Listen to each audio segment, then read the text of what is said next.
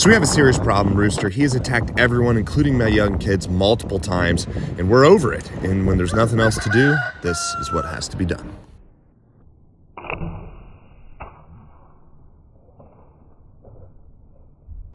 Rooster is no longer a problem.